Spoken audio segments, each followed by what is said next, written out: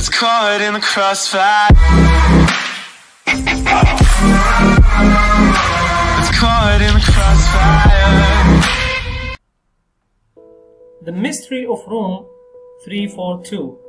The following story is said to have been taken from the secret archives of the Paris police from the time of the Great Exhibition of 1889. Several writers have told the story. It seems to have gone round the world. Here it's given for the first time in the form of conversation. The story opens in Bombay. Captain Day, who was stationed in India, has just died leaving his wife and daughter of 17 alone in India. Miss Day, at last I have some good news for you, my dear. As you know, I was down at the officer's mess for lunch today, and the general told me that his new assistant is willing to take over the house and all the furniture as well, Miss Day. I am so delighted to hear it mother, I never did think it was a good idea to take any of our things back to England with us. I know you can't help thinking of Daddy very often, but I am glad we are leaving the thing behind. You would be thinking of Daddy sitting there reading and writing every time you looked at his desk. Miss Day, perhaps you are right. Joanne, but you will understand that many of these things have a great sentimental value. Miss Day, I understand, mother, but we have to begin life anew in England, and we shall do it ever so much better without all these things around you. Miss Day, I am sorry that as soon as we get to England, it will be necessary to go across to Paris and sign certain papers in connection with your father's property. I should just like to go to England and stay there. Miss Day, I have a very good idea, mother. Many of the boats call at Marseilles. I suggest that we get off the boat at Marseilles and take the train from there to Paris. Then you could sign the papers and we could continue our journey to England. In fact, it would be just as quick as going by boat the whole way. Mrs. Day, that is an excellent suggestion. John, and I think I will go down to the sh uh, shipping company in the morning to find out when the first boat is leaving for Marseille. A few weeks later at Marseille, Mrs. Day. I feel rather nervous about the hotel in Paris, John. From the papers I have been reading, it seems as if the whole world has come to Paris for the exhibition. I remember once, soon after we were married, your father and I, and I stayed at the, at the Crillon I think we had better go along to the post office and send a telegram for a double room. It will only be for one or two nights at the most. I would like to stay longer so that you could see something of the exhibition, but I have not been feeling very well for the last few days. Miss Day. In that case, it is much more important for us to get back to England as soon as possible. I am sure that after a few weeks in the beautiful Engl English countryside, you will begin to feel much better and mother, there will be other chances for me of seeing Paris later on. I am simply longing to see more my own country and to visit the places that you and daddy come from. England is the place for me at the moment, just as much as it's for you. 24 hours later. Miss Mrs. Day, in a few minutes we shall be running into the, the Gare uh, de Lyon. I do hope that the Crillon uh, was able to find a room for us, I must say. John, that I have never been on a journey that has made me so tired. I have only one desire at the moment, and that is to lie down on my bed as soon as possible. Miss Day, poor mother, you do look tired and worn out. Still, if there is no room for us at the Crillon, we should be able to get a room elsewhere, for I understand that Paris is just full of hotels. We are running into the station now. A few seconds later, Oh, mother, we are lucky. I have just seen a man with the name of our shipping company on his cap. If we are not able to get in uh, at the Crillon, he will know where to send us. Calling to the man. Hello, hello there. Will you give us some help, please? Shipping company man. Why, certainly, uh, mademoiselle. What can I do for you, Miss Day? Mother and I left one of your boats at Marseille and are proceeding via Paris to England. We send a wire from uh, Marseille to uh, the Crillon, ordering a double room if we find the hotel is full up. Perhaps you could recommend another one to us. Champagne comedy man. Certainly, mademoiselle. I will come with you myself and explain to the driver that he is to take you to the Crillon first and then I will give him the name of a hotel where you will certainly find an empty room if there is no room for you at the Crillon. Miss Day, that is very kind of you. Shipping man, man. The pleasure is all mine. Will you please show me your luggage and then I will get a porter then perhaps will would follow me to the cab. A few minutes later at the Crillon, Miss Day. I am Miss Day, and this is my mother, Mrs. Day. We sent you a wire from Marseille ordering a double room. Hotel Crack.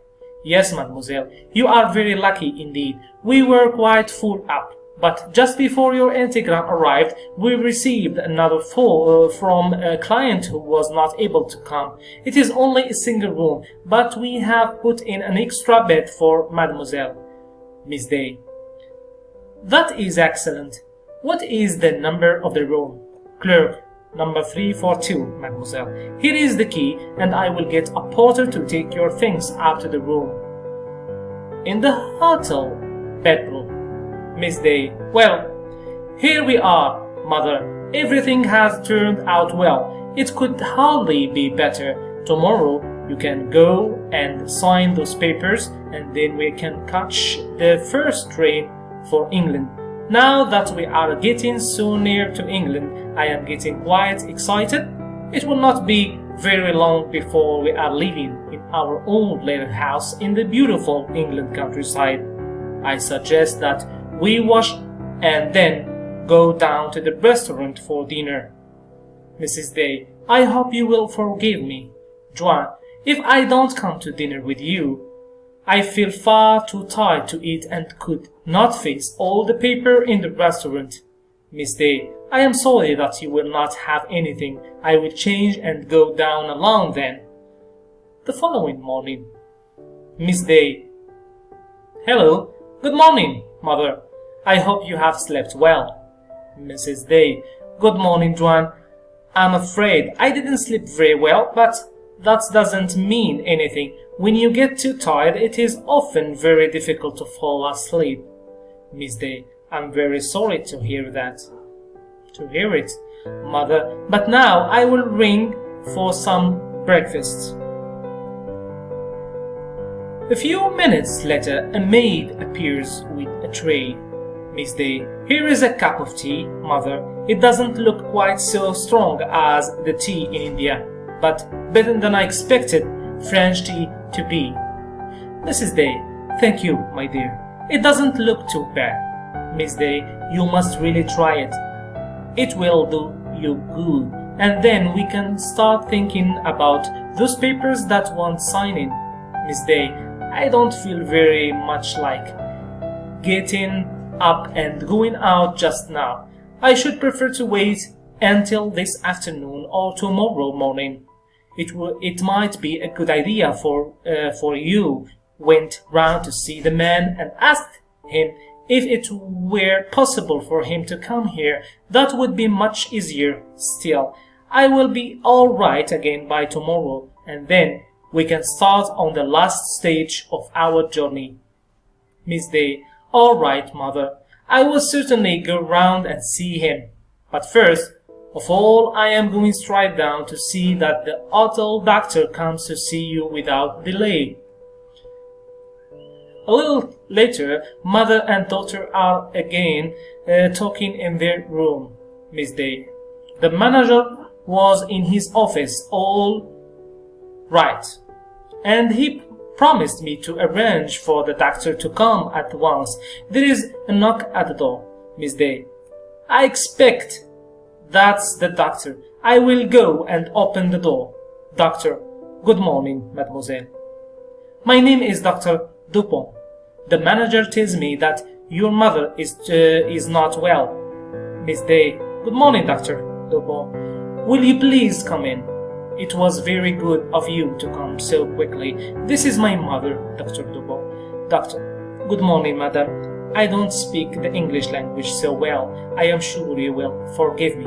First of all, I will take your temperature and pulse, and then I can ask you some questions. A minute or two later, Doctor, may I ask where you have come from? Mrs. Day. My daughter and I left Bombay after the death of my husband, and as I have some business to do in Paris, we traveled overland from Marseille, arriving here yesterday evening, Doctor. I understand that you are feeling very tired, and that the appetite has gone. It's not so, Mrs. Day. Yes, doctor. To be quite honest, I felt too tired to get up this morning, and now I seem to have lost my appetite altogether. Doctor. Yes, mother, mother. When people are overtired, they do not feel like eating. I will send for some medicine for you. That will help you. I will see you again, madam. But now I must say adieu. To Miss Day, perhaps Mademoiselle will come with me.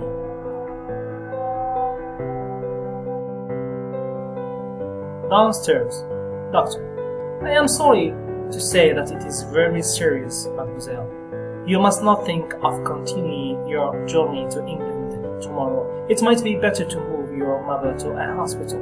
Of course, I shall arrange everything for you, but Mademoiselle, it will be necessary for you to go at once to my house and fetch some medicine for your mother. I am very sorry, Mademoiselle, that my house is at the other end of Paris. It is very unfortunate that I do not have a telephone in the house. The best and quickest way would be for Mademoiselle to go to my house herself. I will give uh, Mademoiselle a note for my wife, telling her what to do. Miss Day, that doctor, if you live so far away, wouldn't it be much quicker to get the medicine from a chemist's? Doctor, Mademoiselle, this is a very uh, special medicine of my own, and it will be much quicker for you to go to my house for it. You may trust me, Mademoiselle, that I will do the very best for you. Now I must write a note to my wife, giving her instructions, and then I will get a cab that will take you to my house, and afterwards bring you back here with the medicine. The doctor wrote a note, give it to the girl, and having uh, got a cab for her, uh, giving the driver instructions, the girl was very impatient, especially as the cab seems to crawl along as slowly as possible. She got the idea that the doctor's house was at the very end of the world. Several times she thought that the cab was going in the wrong direction, for when she looked out of the window, she was certain that They were going along streets that they had already been through once. At last, however, the cab stopped in front of a house. The girl got out and rang the bell. She had to ring the bell several times before the door was opened. Miss Day. Good morning. I am Miss Day. I have a note from Mr. Dupont. Mrs. Dupont. Good morning, mademoiselle. Please come inside and sit down. I am Mrs. Dupont. I will see what my husband has to say. She reads the note. I will attend it. Attend to it at once, mademoiselle. But it will take some time to prepare the medicine. Will not you sit down until it is ready? The wait seems to have no end. Hundreds of times she got up from the, her chair and walked to the door of the room and then went back and sat down again. Sometimes she felt like running back to the whole mother without the medicine, but having come so far for it, she waited on. She was surprised to hear the telephone ring because she remembered the doctor's word that he had not got one. The long wait brought tears to her eyes as she thought of her mother lying in bed at the hotel waiting for her. At last, however, the medicine was ready and she went out to the cab. The driver back to the hotel was even slower than the drive out. And when they got back to the center of the town, the cab driver stopped outside the hotel that was unknown to her. She now felt certain that something was wrong. A few yards away, she noticed a young man who, to, to, to, to judge by his clothes, could not be anything else but English, and although modest by nature, she jumped out of the cab and ran up to him. Miss Day, excuse me for addressing a, uh, a perfect stranger, but you are English, aren't you? Stranger, with cordiality. Oh yes, I am English, all right. You look worried. Can I help you in any way, Miss Day? My name is Miss Day. My mother and I are staying at the Crillon, as uh, she was not very well. This morning I got the hotel doctor to see her. He told me that it was serious and sent me off to his house at the other end of Paris to fetch some medicine for her. I just don't understand things. The doctor gave the driver instruction, and he drove as slowly as possible, very often driving, I am sure, in the wrong direction, for we drove up several streets more than once. Then I had to wait for ages at the doctor's house. While the medicine was prepared, the doctor said that he could not phone his wife as he had no phone. But while I was waiting, I heard the telephone ring in the next room. Then on the way back, the driver drove slower than ever, and now instead of taking me back to the Crillon, he has brought me here. I just can't understand it all. Stranger. I will introduce myself. My name is John Bates. I am a junior secretary at the embassy here. I will come along with you as far as this, the Crillon, for it does all sound rather strange.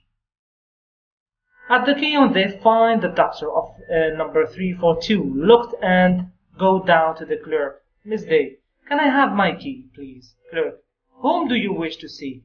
Mademoiselle, Miss Day, I registered here last night with my mother, and we were given number 342. Please give me my key. Clerk. But surely you are wrong, mademoiselle. You could not have come here yesterday evening. It must have been some other hotel.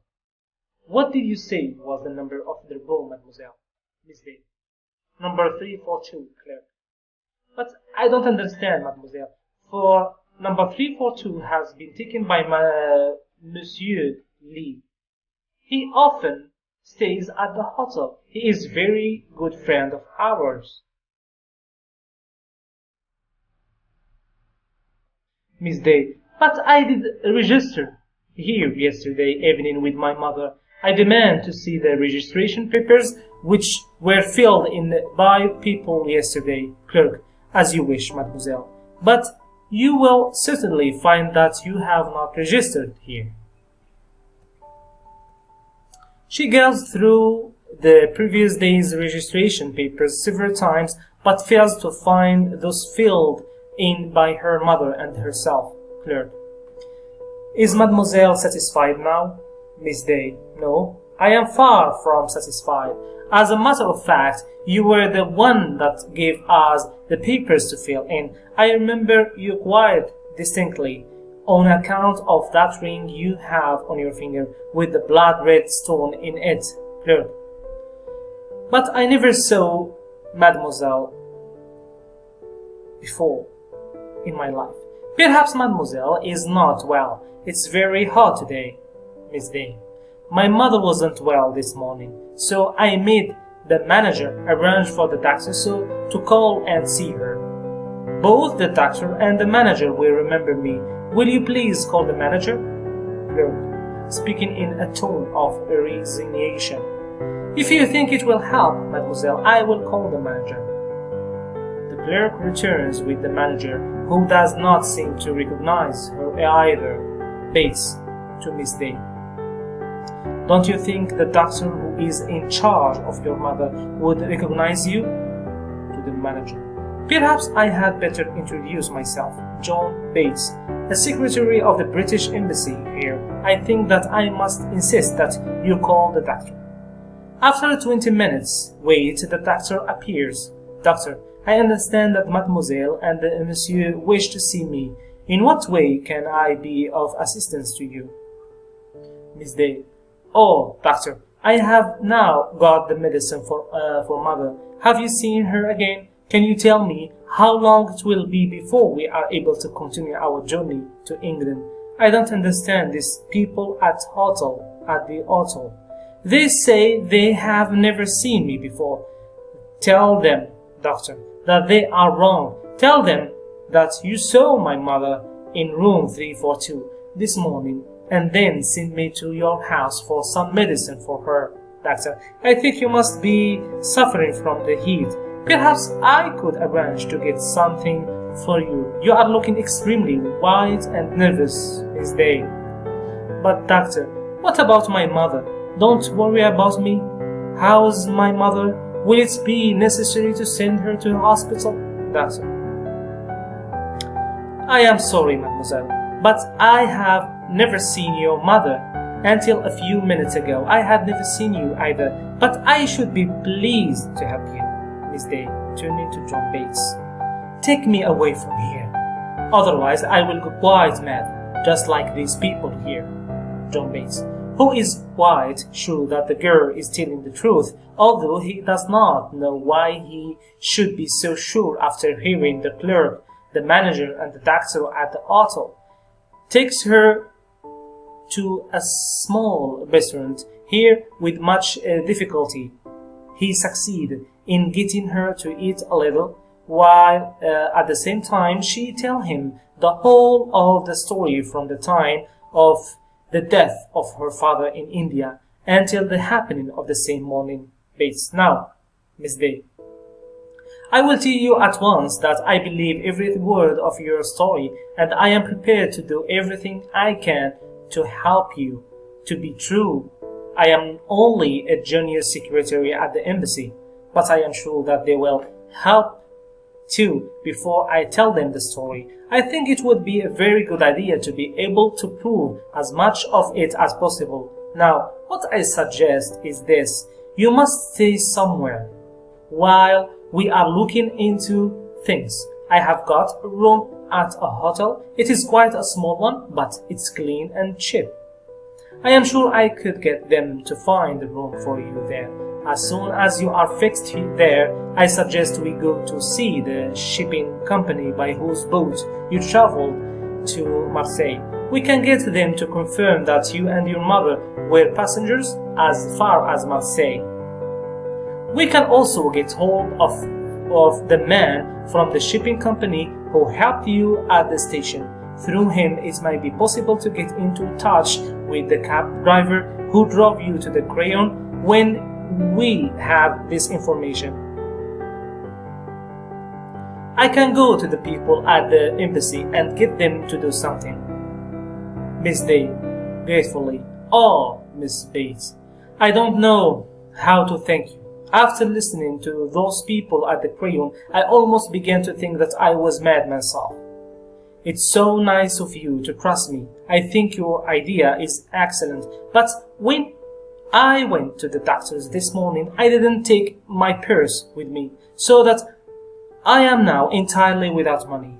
I hate to uh, mention it to you. I have never before had to do such a thing in all my life. Bates. You needn't worry about the auto bill, for I can get the people at the embassy to look after that, and I will be pleased to help you until you have time to see the man who has the papers which your mother was going to sign. Miss Day, I think you are wonderful, Mr. Bates. I don't know how I will ever repay you for your kindness, Bates. I am only too glad to be able to do a little for you, since we are going to work together for a time. Wouldn't it make matter easier for you drop the Mr. Bates and start calling me John right away? Miss Day, alright, you call me John then. Bates, spend the afternoon in taking, talking to the shipping company, their representative who was at the Gare de Lyon, and the cab driver, the cab driver, all confirmed the story the girl had told him. He then placed the matter before a senior of, uh, official of the embassy. Of the embassy. The, the same evening at the hotel, Bates. Now, John, I want you to think hard and tell me exactly what furniture was in the room 342 at the Crillon. The embassy is going to arrange through the French police to get permission to look at room 342. Perhaps tomorrow, Miss Day. I remember the, cur the curtains very distinctly. They were cream colored. Then the chair were covered with uh, some red uh, material the wallpaper I can also remember for I didn't like it. It was cream color too and was covered with big red roses. The bed was just an ordinary wooden bed. Nothing special about it. They are the most important thing that I can remember.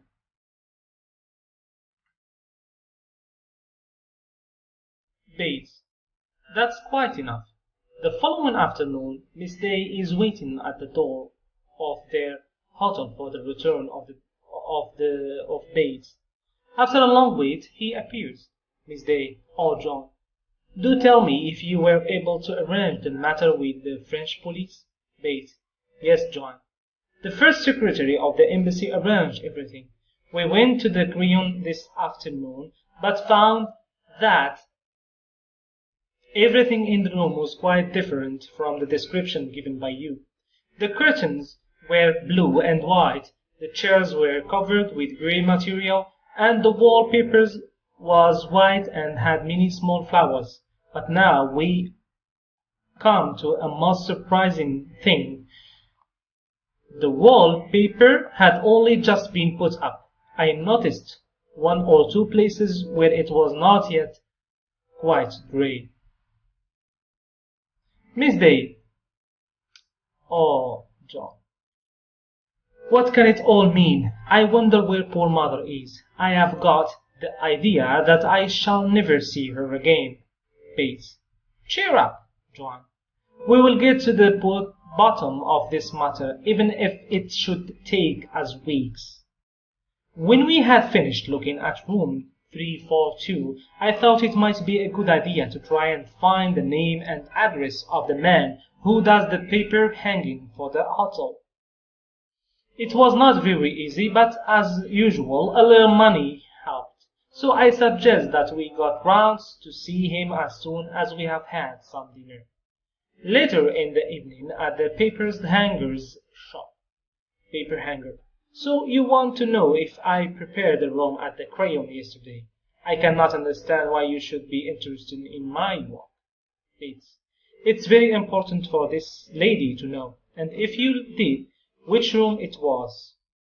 Paper hanger. So it's important for this young lady to know, uh, is it? Well, like all good Frenchmen, I should be pleased to help a nice young lady, but these are hard times, and paper hangers are not overpaid for their work. Bates, I know that room 342 was prepared yesterday. I was there this afternoon and saw that the paper was not yet quite dry. What I really want to know is whether you can give us any information. If the information were worth it, I should be ready to give 25 francs for it. Paper hanger, well, for a nice young lady and uh, Bates, you mean that for 25 francs you might tell us something? Alright, if you have anything to tell us, the money is yours. Paper hanger, well, I was sent for uh, yesterday morning when I got to the Crillon. They were busy moving furniture out of the room number 342. I was told to put up fresh paper as quickly as possible. I tried to find out the reason for it, monsieur, for it's, it is not only women who are curious in this world, no?